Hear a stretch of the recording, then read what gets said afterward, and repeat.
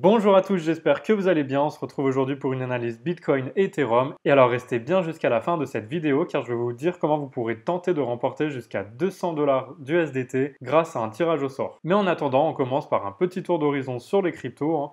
Alors c'est majoritairement rouge, hein, comme vous pouvez le voir. On a un BTC qui a presque moins 3% sur la journée, un ETH à moins 4,3%, un BNB à moins 1,57%, et seul l'ADA et le Link hein, se démarquent aujourd'hui avec le Solana également. Sinon, tout le reste est plutôt dans le rouge, à part les stablecoins. Alors regardons maintenant du côté du Bitcoin. Hein. Alors pour ceux qui me suivent sur Twitter, hein, vous aviez sûrement vu mon tweet qui prévoyait la chute du BTC. Et alors bravo à ceux qui sont entrés en position à la cassure de ce biseau ascendant, car vous aviez ici un ratio de perte de 4 pour 1, avec une baisse possible de 5%.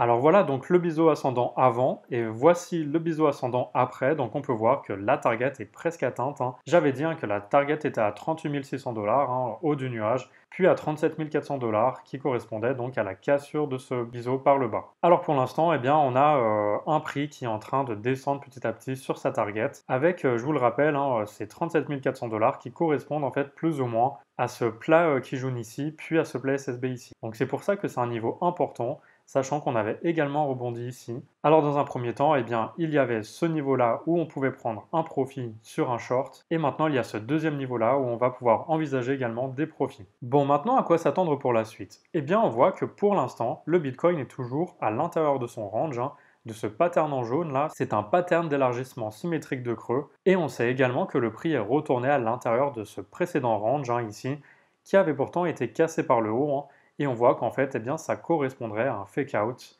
étant donné que le prix est venu reclôturer à l'intérieur et que depuis plusieurs jours maintenant, eh bien, on est de retour à l'intérieur sans retourner vers le haut. Bon, donc ici c'est clair, hein, vous connaissez la règle. Tout rejet en haut de range eh bien, entraîne un retour du prix en toute logique vers le milieu du range. Pourquoi? Tout simplement car c'est le prochain support. Vous voyez qu'ici on a créé un support, hein, on a créé un double top ici, puis on est venu chercher un nouveau plus bas, et finalement, on est reparti vers le haut en cassant ce double top. Et maintenant, ce double top est devenu un support. Donc, il y a de très fortes chances qu'on vienne chercher ce niveau-là, cet alignement Kijun SSB aux alentours des 35 000 dollars, voire peut-être 7 euh, Kijun ici, hein, qui peut toujours faire support.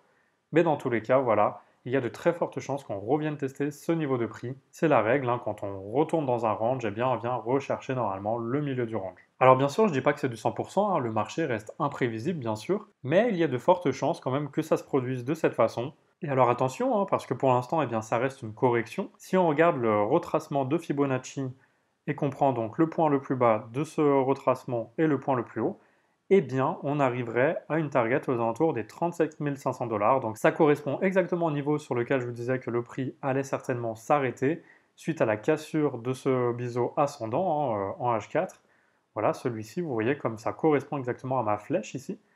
Et donc, si on revient sur le daily, eh bien, on s'aperçoit que si jamais on casse ce niveau-là par le bas, eh bien, on ira chercher directement les 36 040 dollars qui correspondent en fait au 0,5 de Fibonacci, mais également à ce plat ici qui joue sur le même niveau de prix. Alors attention, hein, parce qu'il y a également une autre règle qui dit que si jamais on venait à casser ce niveau-là des 0,618 de Fibonacci, eh bien il y a de très fortes chances qu'on revienne carrément chercher les 100% de retracement. Ça voudrait dire hein, qu'en toute logique, eh bien, si on vient à casser ce milieu de range par le bas, avec une configuration de retournement, ici des bougies de retournement, eh bien on viendrait chercher en toute logique, encore une fois, le bas du range aux alentours des 29 800 dollars. Donc selon moi, il faut faire très attention à ce passage ici qui est très étroit, ainsi qu'à ce twist ici de range, car le prix a souvent tendance à repasser dans ces petits passages ici très étroits, hein. tout simplement car le nuage représente une résistance et ici, eh bien, la résistance est très faible.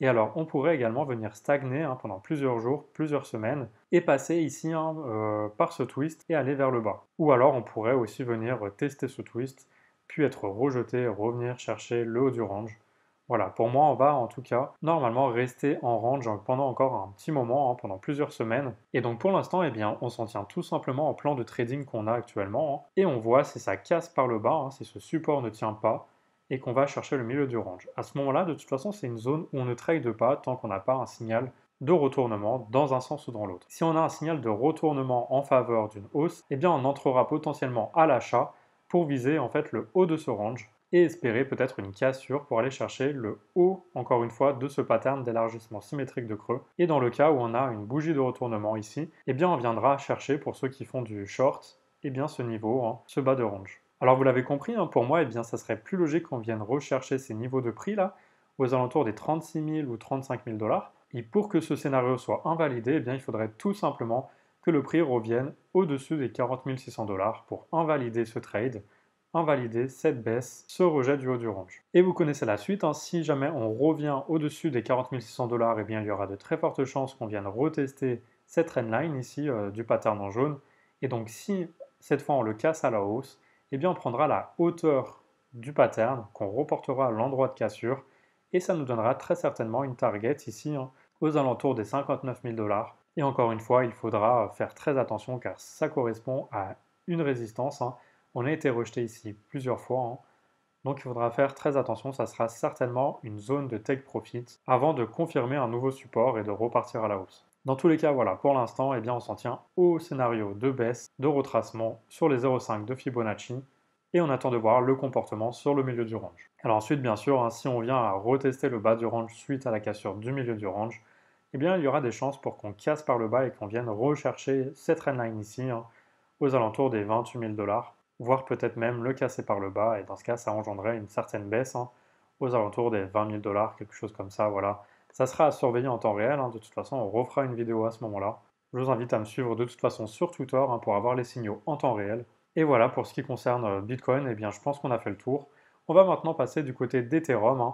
Alors déjà, l'Ethereum, je vous le rappelle, eh bien, il va avoir sa mise à jour demain, sa mise à jour EIP 1559. Et alors, qu'est-ce que c'est cette mise à jour? Elle va permettre de modifier le mécanisme des frais de la blockchain. Il va y avoir des frais de transaction de base payés aux mineurs pour valider les transferts et des jetons seront brûlés et retirés de la réserve. Ça va permettre en fait aux utilisateurs d'avoir des frais de base plus prévisibles et normalement moins élevés que d'habitude. Et alors certains analystes voient le prix de l'ETH quintuplé grâce en partie à cette mise à jour mais aussi à celle qui va arriver l'année prochaine en 2022 Bon, on verra bien ce qui se passe avec cette mise à jour demain, si elle a vraiment un impact ou non sur le prix, étant donné que cet événement a déjà pu être anticipé par les traders et les investisseurs depuis un petit moment déjà. Dans tous les cas, l'ETH est toujours dans son range horizontal, hein, comme vous pouvez le voir, hein, toujours dans ce rectangle. Et alors ma target de la semaine dernière a été atteinte hein, aux alentours des 2650 dollars. J'avais dit sur ma dernière vidéo et également sur mon compte Twitter qu'à la cassure de ce niveau ici, très important, eh bien il y aurait de fortes chances qu'on vienne retester les 2650 dollars qui correspondent tout simplement à ce précédent plus haut ici, mais également à la hauteur de ce biseau descendant reporté à l'endroit de cassure. Alors bien sûr, dans cette montée, eh bien, on a forcément du retracement, surtout qu'on a maintenant 13 bougies de hausse consécutives, ce qui est déjà dingue. Hein. Et donc attention, hein, car comme avec BTC, eh bien, il y a des risques que le prix repasse sous le nuage, étant donné qu'on a un passage faible ici, puis un twist ici qui est aussi un passage très faible. Si on le casse par le bas, eh bien ça représentera après une résistance. Et là, il y aura des chances pour qu'on soit rejeté, étant donné qu'il y a également la Kijun ici.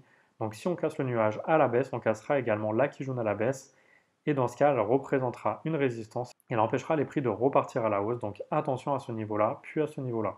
Alors ça, c'est pour le petit warning. Hein, mais maintenant, euh, quand on regarde le graphique, eh bien, on n'a toujours pas atteint en fait le haut du range. Donc il y a quand même des probabilités qu'on vienne chercher les 2883 dollars qui correspondent au haut du range et puis qu'on voit hein, si on a une bougie de retournement comme sur le BTC si on repart vers le bas ou si eh bien, on casse par le haut. Si on casse par le haut, on a de toute façon ce grand plat SSB ici qui est très très long, hein, aux alentours des 30 040 dollars.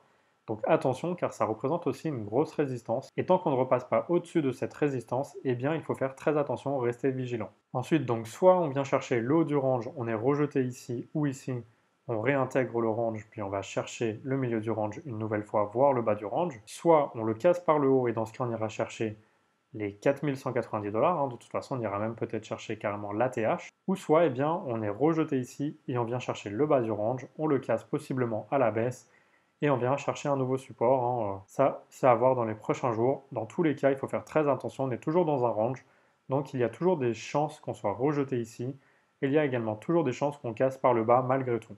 Donc voilà, pour résumer, hein, pour faire simple, tant qu'on ne casse pas ce range par le haut, eh bien on ne peut pas vraiment parler euh, d'un retour à la hausse, on ne peut pas viser le précédent ATH, étant donné qu'on a toujours deux grosses résistances, donc le haut du range aux alentours des 2880 dollars et ce plat SSB aux alentours des 3047 dollars. Alors oui, bien sûr, on peut voir un W ici, hein, et si on casse ce niveau-là, eh bien on ira chercher ce niveau euh, qui correspond à l'ancien ATH. Ça sera de toute façon la target de cassure de ce W. Mais tant qu'on ne fait pas de cassure ici, tant qu'on ne casse pas le précédent plus haut ici, eh bien on ne peut pas vraiment parler de W, étant donné que ça peut être également un double top hein, et repartir vers le bas. Bon, voilà pour cette analyse. Maintenant, j'aimerais vous parler de Bybit avec qui je me suis associé. Alors, c'est l'un des exchanges de crypto les plus utilisés au monde. Et pour toute inscription via mon lien d'affiliation, eh bien, vous pourrez participer à un tirage au sort pour tenter de gagner jusqu'à 200 dollars en USDT valable sur leur plateforme. Alors c'est un tirage au sort destiné à mes abonnés qui suivront ce lien. Ça veut dire que vous avez de grandes chances de gagner car vous n'êtes pas si nombreux à me suivre sur YouTube. Hein. Alors n'hésitez pas à tenter votre chance.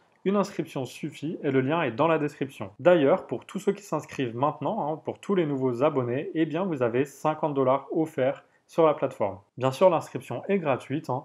Il n'y a pas d'obligation d'achat. Mais pour vous resituer un peu le contexte, eh bien ils veulent se placer comme concurrents de Binance, notamment en s'ouvrant maintenant au crypto spot. Il faut savoir qu'à la base, ils proposaient seulement les dérivés et les futures, et à la base, c'est plutôt une plateforme très utilisée en Corée et au Japon, mais ils souhaitent s'ouvrir à l'Europe, s'ouvrir au monde entier en fait, et ils vont mettre bientôt à disposition d'ailleurs de nouveaux listings de crypto pour très bientôt. Alors vous le verrez, hein, ils proposent plusieurs missions pour débloquer des récompenses en USDT et il y a également tout un espace de parrainage qui vous permet grâce à l'affiliation de gagner de l'argent en parrainant vos amis. Allez, je vous mets tous les liens en description et dans tous les cas, n'hésitez pas à me poser vos questions en commentaire comme d'habitude. Merci bien sûr d'être de plus en plus nombreux à me suivre sur mon compte Twitter et sur mon compte YouTube. Sur ce, je vous souhaite une très belle journée, je vous dis à très bientôt.